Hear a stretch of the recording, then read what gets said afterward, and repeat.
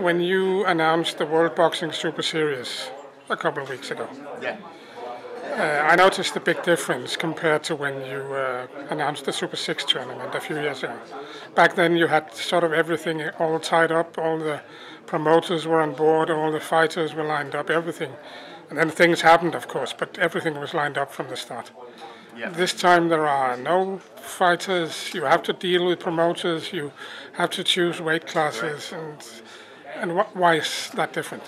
Um, the difference is, is, is the two different things. Um, Super Six was a um, was a Showtime tournament, uh, which was uh, a series of array, you know, pre-agreed fights uh, with pre-agreed fighters. Um, everyone signed a multi-fight output deal with with uh, Showtime, so it was more or less a TV deal, and that was then put into a, a, marketing package called the Super Six. So it was basically grown from the bottom up. We made a series of fights, and then we put the branding around it. And this is exactly the opposite. Um, this is not about one season. It's not about one weight class.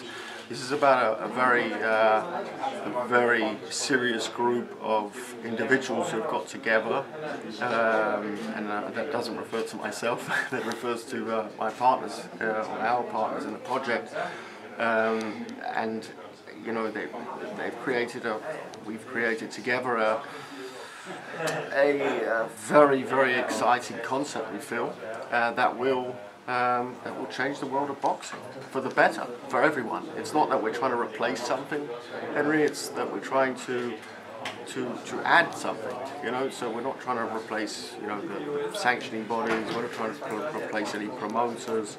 Um, we're, simply we're adding a lot of money into the world of boxing, and uh, and I think that's a good thing. You know, and and you know the fact that uh, they haven't, the, the, weight class haven't been announced yet. That was, that's part of the plan. At the end, end of April, uh, those should be out there, and we won't be, you know, we won't be rushed or anything. We, we, we, we have our plan. We have the right partners on board to make this happen in a, in a very very good way.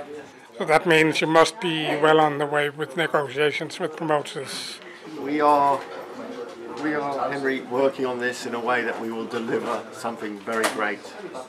Because you could imagine when you have to deal with promoters in this one, you have a Bob Arum who won't deal with uh, Oscar De La Hoya, who won't deal with, and all that sort of stuff. All these competitors who sometimes try to keep things for themselves. We've separated it quite nicely. So I mean, Richard is taking care of America. Um, you know, he has a sensational network uh, of fighters he works with his partners.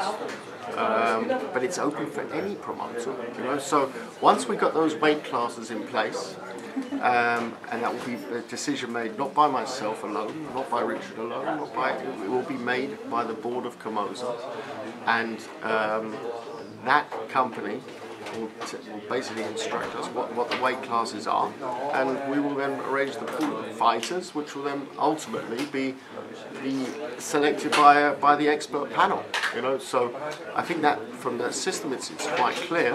Um, but as I said, you know, when when uh, when we have the weight classes, you'll see you know, you'll see that the names drop into place quite nicely.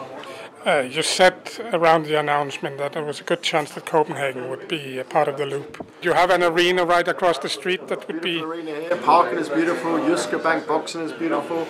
Um, I love Brøndby as well. We've got great arenas here. But How do you see the chances right now? It's not. It's not linked with. Uh, it wasn't linked at the time with, with Mikkel Kessler. If it goes to the super middleweights and Mikkel Kessler would go in, then of course we'll be in Denmark. Um, if if it's not, I would still look at Denmark with a strong Danish support card and do an event here because I think there's a lot of sporting appetite in this country, and I think you know to bring you know if you bring the Champions League to Denmark, it's an interesting thing.